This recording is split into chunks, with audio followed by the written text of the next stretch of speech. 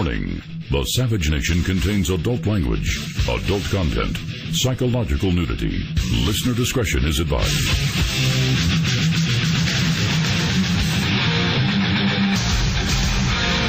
And now, America's most exciting radio talk show, The Savage Nation.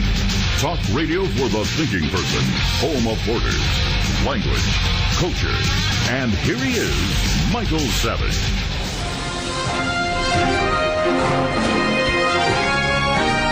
It is. A savage nation and quite a crazy day it is. North Korea confirming the successful testing of a miniaturized hydrogen bomb being denied by the United States, South Korea, and others. Nevertheless, it's very worrisome that a lunatic like this even has nuclear weapons to begin with. And if we had a real leader, he would be focused on reining in the terrorists in North Korea, the terrorists in Syria and Iraq, and not trying to take away guns from law abiding Americans. But that's an old story. The bottom line is we do not know we really do not know whether he really has a hydrogen bomb. We do know this. A U.S. reconnaissance plane flew off of Okinawa Island 10 minutes before North Korea tested its alleged miniaturized hydrogen bomb on Sunday, according to Japanese media. And 10 minutes later, seismic stations registered underground tremors in North Korea caused by a nuclear explosion. Now, North Korea said it was a miniaturized hydrogen bomb. Our spy plane, the RC-135V, returned to base six hours later, according to Japanese authorities, adding that the U.S. spy plane had apparently been keeping an eye on North Korean territory. Well, what does this really mean? Well, I don't know what it means. However, South Korea, which is North Korea's archenemy, citing a source in the country's intelligence community, said that the underground explosion of under six kilotons of TNT was too slight to have been caused by a hydrogen device. Well, that doesn't reassure me. Six kilotons can ruin your day, whether it's hydrogen or merely a atomic bomb. What's the difference when it's in the hands of a deranged maniac like Kim Jong mentally ill's son, Kim Jong Un? And this is what happens when you have a lack of leadership in the world. U.S. officials, of course, don't believe North Korea actually tested a hydrogen bomb. Let's look at what we talked about yesterday on the Savage Nation. This is a new feature where I will do bullet points of the day before and open the show with them the day after in case you missed any of the classroom experiences of the Savage Nation or the pure fun of it. One, we ask, does the sociopath in the White House feel the same about the First Amendment as he does about the Second Amendment? Does he feel that only a modest background check would be in order? for anyone to speak out against the government. You know, after all, it's only a modest reining in of the First Amendment. Why not? Number two, Obama did not have crocodile tears for the Steinle family in San Francisco after an illegal alien shot her to death. Three, we reminded you that uh, uh President Truman tried to take over a steel plant in the 1950s with an executive order, but he was stopped by the Supreme Court, which reminded President Truman that a president cannot make law. Apparently, Obama missed that while at Columbia Law School, and he missed that while practicing whatever he practices. I then pointed out that guns saved 20,000 Jews from the Nazi Holocaust. That is still up on michaelsavage.com. I also said that bullies make up a pretext to attack a smaller kid, just as Obama made up a pretext to attack the smaller kid, being the white heterosexual middle class American gun owner. He said that you can't yell fire in a crowded theater. Well, he's right. But didn't he say that you can yell fire in a crowded White House and set the world on fire? He's the one who ought to look himself in the mirror. We then said that Obama goons can now declare you mentally unstable to prevent you from getting a gun. That's what was done in Russia in the past. Now that is very worrisome because that means that if you have PTSD or you're even a manic depressive, which is now known as I, what bipolar disorder, your shrink has to report you to the FBI and they could take your guns away. Be very careful here. This is not a slippery slope. This is an avalanche that he set off yesterday. Obama doesn't have the money to do background checks on the Syrian immigrants pouring into the Americas but now he has money to do background checks on legal gun owners. Where'd the money come from? I then said that Count Obamula drinks the blood of the Constitution one sip at a time. Those are some of the topics we talked about on the Savage Nation. We also said that the smart gunship that Obama is talking about can potentially give the government the power to turn all guns off at one time with the press of a key on a computer. I then reminded you that this is the result of the Cultural Revolution that began in the 1960s. I also reminded you that if what Obama was doing with guns was as widely as accepted as he claims it is, it would not be as controversial as it really is. I then explained to you that these new rules will change the relationship with mental health practitioners. It may put them out of business because who is to decide what is a mental illness? And here is the most shocking part of yesterday's show. Yesterday, Obama referenced communist China in his gun speech, using that as a model for gun control. And I asked you, is that the direction he's taking us in? The answer is we'll have to wait and see. Here are some of the other headlines. I invite you to call the show at 855-472-82. You're listening to the one and only Savage Nation, 855-400-SAVAGE.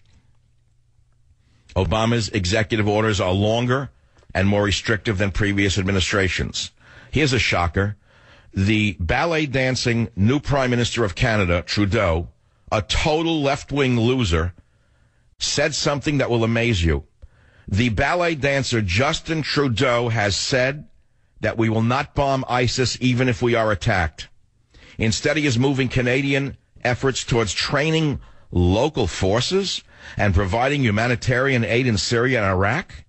In an interview with Global News, the left wing ballet dancer, Justin Trudeau, said that he sees no reason to change this policy toward ISIS, and he went even further. He said even if Islamic terror attacked in, Fran- in uh, Canada in a similar manner to the one in Paris on Canadian soil, he would not bomb ISIS anyway. In other words, he's become a surrender monkey.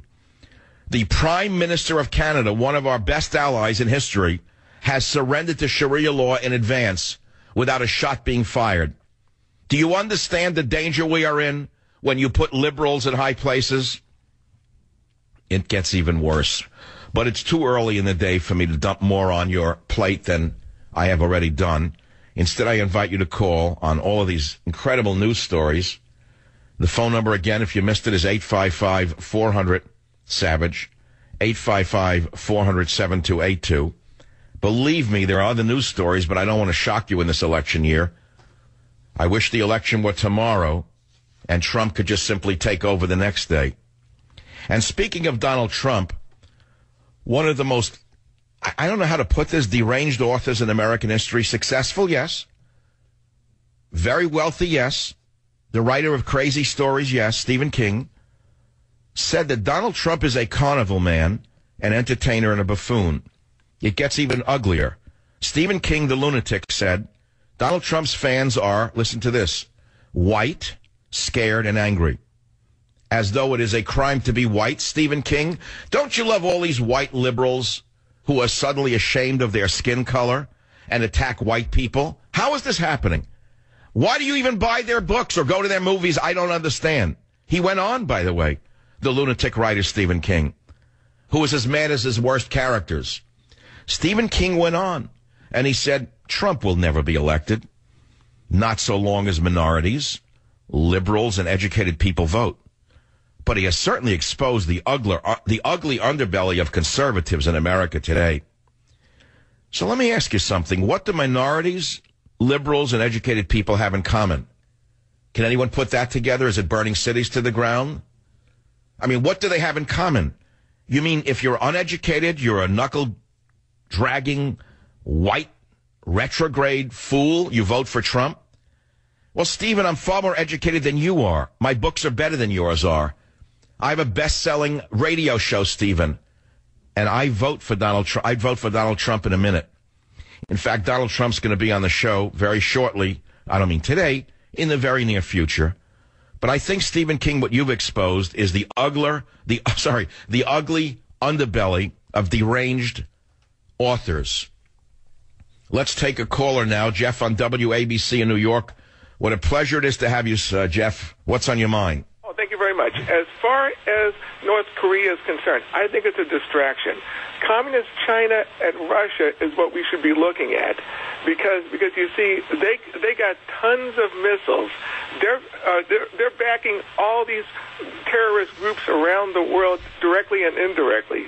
What I see coming to this country is a global Tet offensive, a a surgical strike by, by one of these major powers, and, Amer- and they will eat America's lunch because we have had liberals and communists dismantle this country for decades.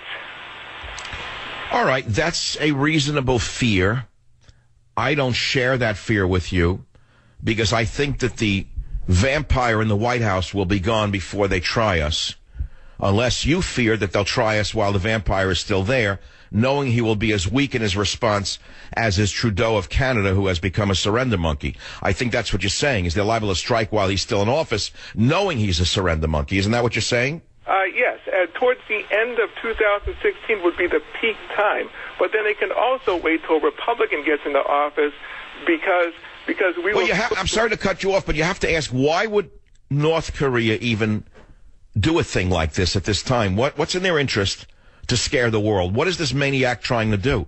That's the bigger question, and I'll tell you the answer. North Korea does nothing without the approval of the generals in China, in my estimation. North Korea is the junkyard dog of China. I'm sorry to be so cruel. I like Korean people, but this is not about Korean people. This is about a mad dog on a chain, a bulldog on a chain. Envision him as a mad dog in a junkyard that barks only when his master pokes him with a stick. So you have to ask yourself, why would China poke North Korea, the mad dog, and tell it to say it set off a hydrogen bomb. And I will connect it immediately to the collapse in the Chinese stock market and the fact that they have again manipulated their currency to keep dumping their garbage on the American people. Do you understand that there may be a relationship between the two? Oh yes, I I think I think North Korea is a distraction myself. Because, because well, I do too. It's China pulling, as I say, it's China who set off the nuclear bomb in North Korea, making believe they had nothing to do with it. That would be my guess. That would be my guess. I have no link to intelligence communities, but that's how I read this picture. Minds think alike. I, I, I agree with you on that.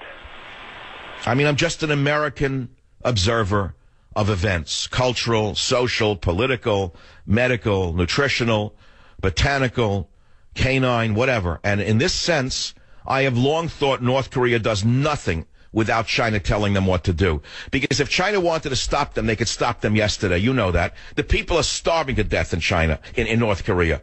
Where do you think most of their food comes from? Where does it tra- how does it travel into North Korea? While this pig lives on pornography and booze, the people are starving to death. Many of them are eating straw. The man is a worldwide monster. He's committing genocide against his own people. And now he tells us he has the money to set off a nuclear bomb. How many tens of thousands of people could have been fed instead of setting off a bomb, no matter what it may have been? And where is Obama on this? Yesterday he was a big mouth on seizing weapons, uh, step by step. Why did he have nothing to say about a hydrogen bomb today or a neutron bomb? What, no, we don't know what he set off. He, he certainly didn't set off a firecracker. It was six kilotons. And as I say, six kilotons can really ruin your day, whether it's hydrogen or atomic. The man must be stopped. I'll be back in a minute on the Savage Nation.